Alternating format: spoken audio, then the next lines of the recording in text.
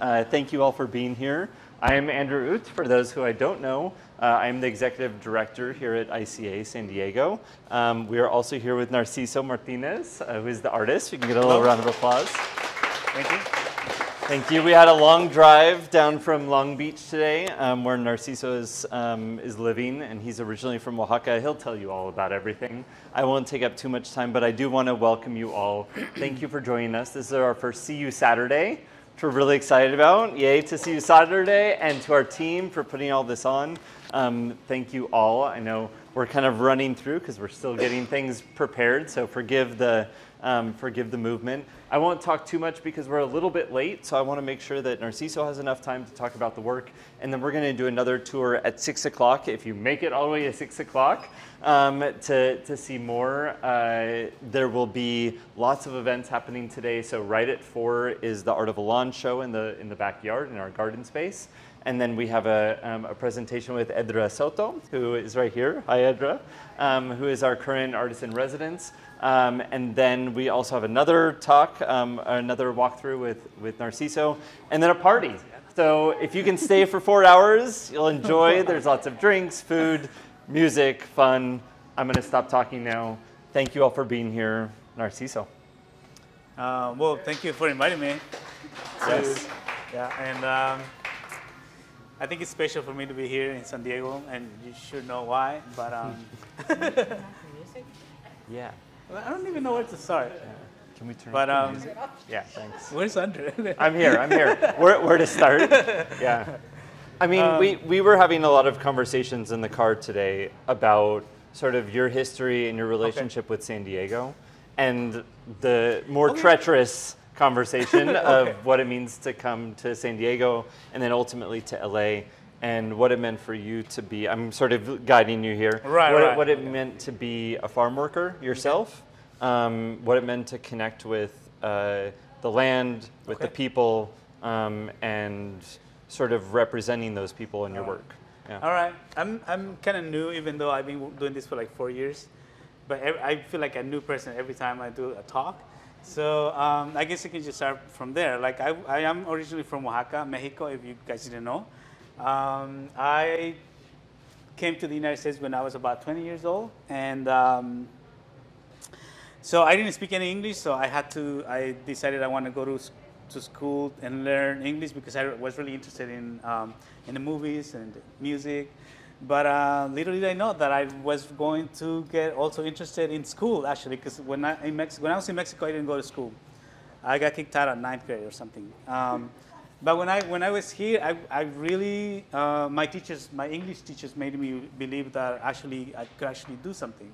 So I believed them, and I decided to to continue my education here. So I did my uh, high school in an adult school, and then I went to a community college to learn um, to continue my uh, general education classes.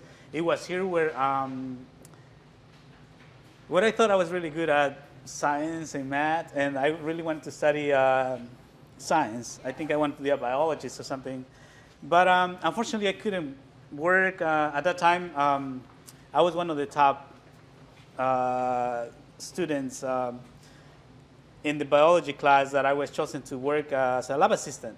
So I was really excited, and um, unfortunately, I didn't have documents then, so I couldn't work. So my life was like disappointing at that moment. I was like, maybe what's the point of going to school?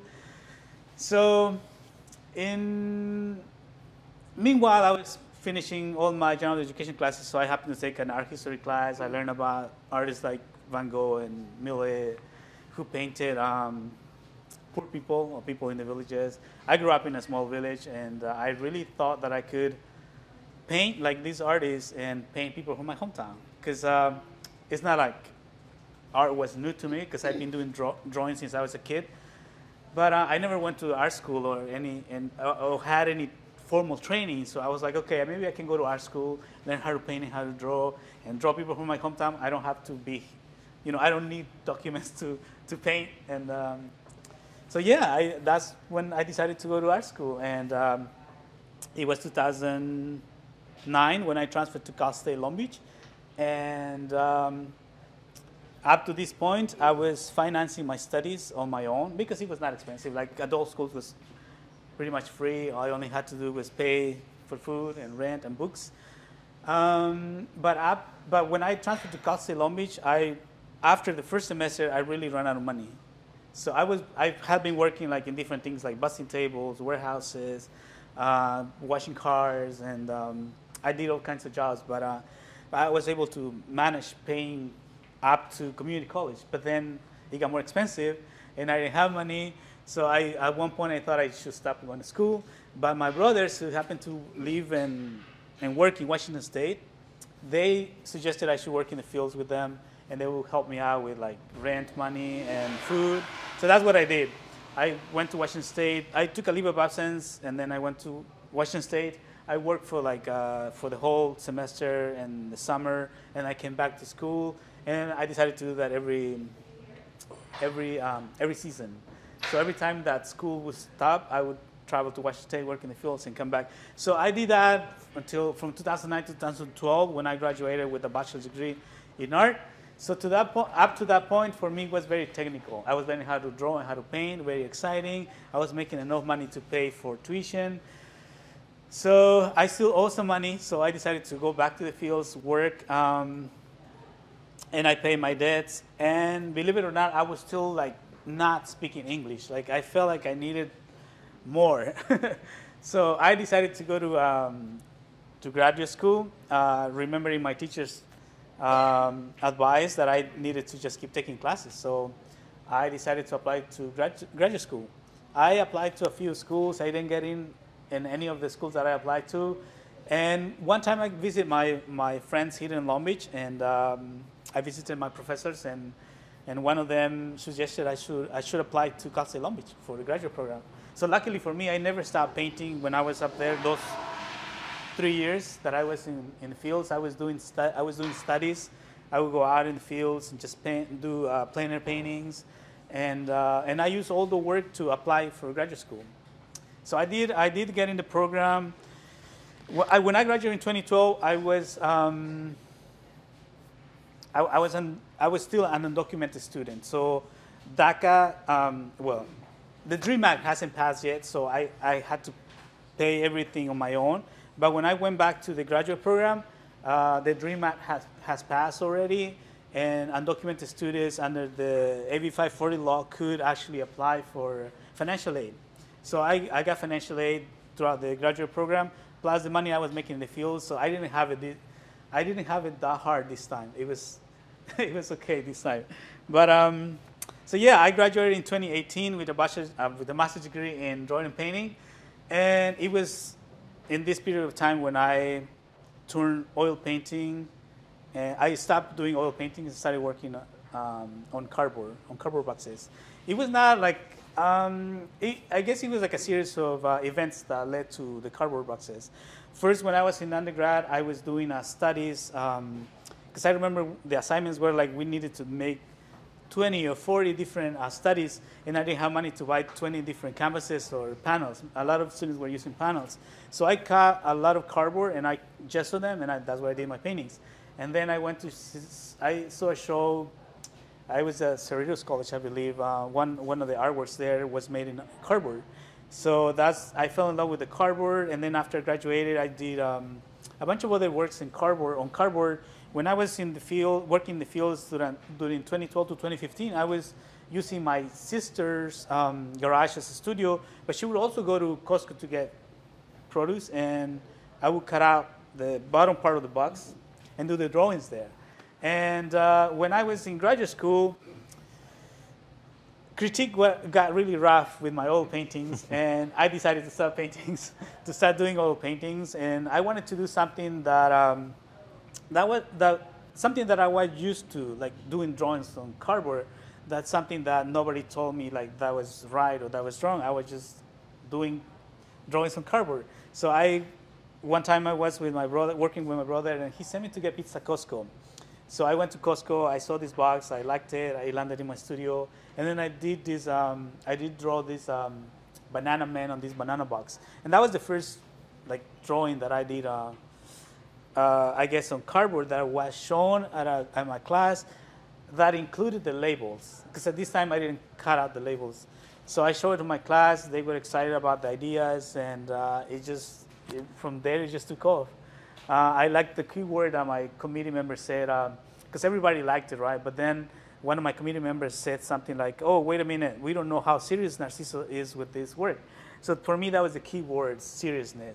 So I started collecting boxes and um, did a bunch of portraits on boxes. I put together many multiple boxes and did multiple um, figure compositions, and we eventually I, I did uh, sculptures, and now we're here.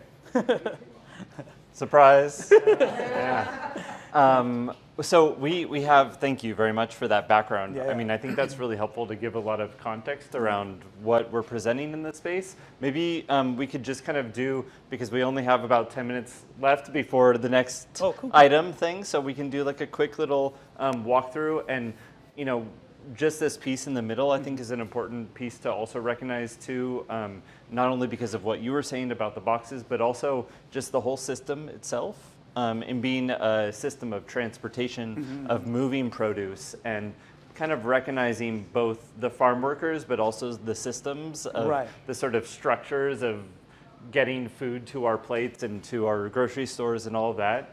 Um, do you want to talk a little bit about that? Well, I guess I can add to. Um, I, I did this piece at the Long Beach Museum of Art during a residency. They, they invited me to do there, and um, uh, I, I, just thought of the space that I had there because I had like a small cubicle at my school, but there they gave me a huge space and I was able to like have all my boxes everywhere. So that's um, it's also close to the port where all the the junk that we buy mm-hmm. gets to. So I was like, uh, this is a good uh, time to to get precisely that, the idea of how our produce is transported from one place to another. And I happened to work at a produce warehouse in LA and I used to create this order for different grocery stores where we put uh, the produce on a pallet and then we'll ship it to different places. So that's where the idea came from. Mm-hmm. The pal- I got the, actually got the pallet from that same place I worked, and um, so yeah, that's that's the result.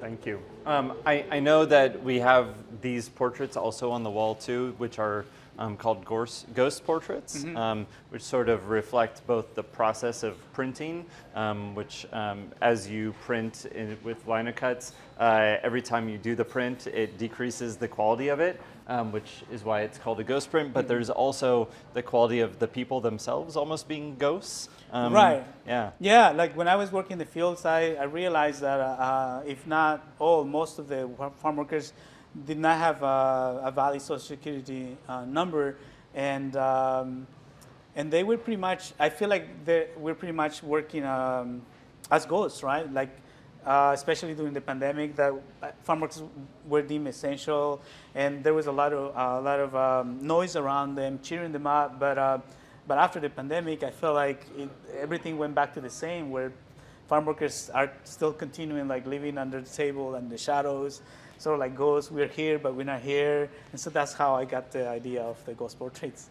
Awesome. There is, um, I, I, want you to kind of pay attention if you can. Before we head into the next room, there's a, a portrait on the other side of this, um, sort of facing the door there. And the woman, um, you told me that you've used her portrait a lot. Mm-hmm. And sort of as we move into the next room, I know you guys can look at it now or look at it later, um, but I also wanted you to talk a little bit more about sort of your relationship with the people who are in the fields and um, the people that you're you're representing on the walls, your personal relationship. And I think we can move into the other room okay. so you can see the rest of the show.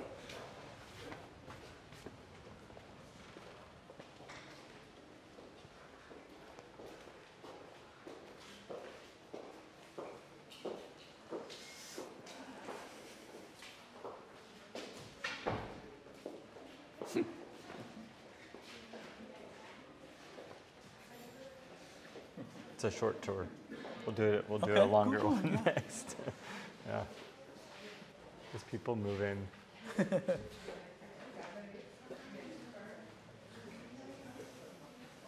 Try to make some room so more people can come in.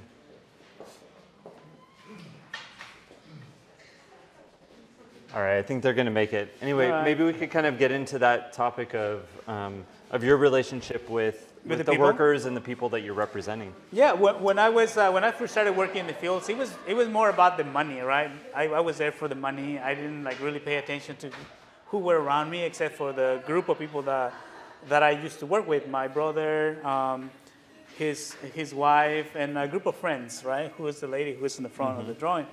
Um, and um, it's interesting because after undergraduate, uh, because of the graduate program and, and the research paper that I had to do, I really needed to find a way to, I guess I, I needed to find out more about my coworkers at that time. And I didn't know because I used to hang out only with my brother and a group of friends. And when I decided that I, was, I wanted to go on my own, on my own, I left my brother's group and I got me a car and I went to different orchards to look for a job on my own. I found out that I was really disconnected with my community because they, they we couldn't even communicate, I guess, properly.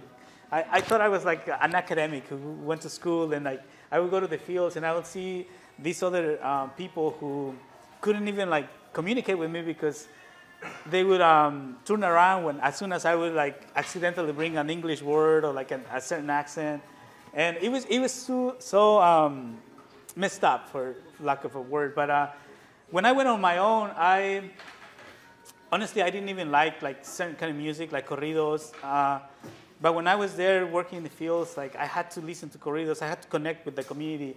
So I learned um, certain slangs that I that I used to connect with with my coworkers. We spoke about corridos. I so I had to learn like some of the name of the songs or bands, and in that way, like slowly, but I, I feel like genuinely we made connections with the farm workers, and and soon I had um, the opportunity to have drinks at their trailers where they lived. I would bring them to my brother's house and have some drinks. We share stories, and that's sort of like where I found out the, the fairness of the unfairness of the system, like how they lived, how people in the cities live, the kind of how the working conditions are in the cities, how the working conditions are in the fields, and all these ideas that um excuse me that were like sort of unfair. I was like, this is the things that I want to talk in my art. So that's I don't know. Maybe I went beyond. Mm-hmm. No, that was- that was perfect. But that's that how good, I, um, you know, some of these people get really comfortable with the camera when I would take a picture. Before it was like, I would take pictures here and there. People were in the background, but recently, uh, after I stopped working in the fields, people were more comf- comfortable with me. People knew what I was doing. Some of them, I would bring sketches to the fields, and they would ju- I would just pass them around so they could see them. Um, they would say like, "Hey, when are, when are you gonna take a picture of me? Have you drawn me yet? You know, things like that." Um, so yeah, that, that's my relationship with uh, with these people. Uh, I hope um, it hasn't changed, you know, because I haven't really gone back to the fields except for um, except for research. So so yeah. Yeah, thank you very much. And I'm just going to add one more point before we move on to Art of Elan, um, which is you know the the sort of symbols of the on the boxes themselves and the representation and even the colors too because we were talking about it just recently about like the color choices and what it means to represent certain uh, aspects of the market and the consumption and the um, the corporate presentation of produce. And I also want to mention too, on this is his third, uh, I'll call it a mural, um, his third large piece, and he's second, working. second. Oh, second one, sorry. And he's working on his third right now. Um, and the third one uh, is called Citrus Fresh. Supreme Fresh. Supreme Fresh. Thank you, Supreme Fresh. And I said, "Oh, there's Supreme, but where's Fresh?" And he said, "It's everywhere." And I think that's a really important thing to, to recognize. If you look at the boxes, you'll start to see fresh everywhere. And sort of the, the language that are used on the boxes to represent the produce that is being picked. Um, I don't know if you want to make any sort of comments about like the colors or the, the shapes that you sometimes leave free. Like, you know, if we look at I'm pink, obviously you're painting around that, right? Yeah. And you're highlighting it. And then you've also used collages too, you know, even leaving these types of, of um, parts open. But it's, it's just part of the, um, I think it's just part of the conversation between farm workers uh, and the agribusiness. I feel like the agribusiness, I let the agribusiness be represented by their own labels and brands and colors that are on the, that are on the boxes. And I represent, I try to represent the farm workers through the mark makings. And uh, as, as I go along, I make decisions, like I was saying, like I don't know if I would be able to have an assistant because I don't even know how the piece is gonna look. Uh, I don't even know what the next move would be. I have a general idea, but whenever I'm on a piece, I, I make decisions as I go. And uh, sometimes, because of compositions, I have to cover some, some of the colors. or I, I have to leave it sometimes so that they can interact with the drawings. Like I feel like this part is part of the box, but this is collage and this is drawing. So it's always this um, interaction between the colors, the brands, and, and the black and white from my drawings. And the people, Right, right. right? Yeah. What about the red thread? It's part of the box, yeah. This red thread that goes all the way? hmm Yeah, it's part of the boxes, yeah. Well, part of the boxes. You didn't do that. I didn't do that, no. It's part of the boxes, yeah. Do you decide the size when you start, or you add, add on the carton, or Oh, it's- decide the size first? Well, this size, I actually do that. I sometimes I put a box and I keep adding boxes. But this this this piece, uh, this size came from the previous one, which is exactly the size of one of the walls at Long Beach Museum of Art, because I created that piece um, during a res- during a second residency I did at the museum, and I just saw this wall that had a platform um, next to it, and I was like, this is perfect for like a big piece that would just fit that space. And then, in addition to that piece on the wall, because it had a platform, I created an installation of little paintings um, that represented the produce, which were, were, were aligned along, the li- along this line all the way through. But yeah, sometimes I add, sometimes it's just the size.